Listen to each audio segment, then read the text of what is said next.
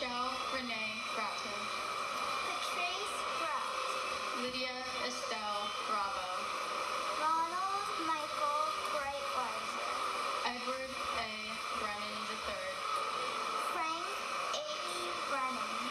Michael E. Brennan. Peter Brennan. Thomas Moore Brennan. Daniel J. Russell. Gary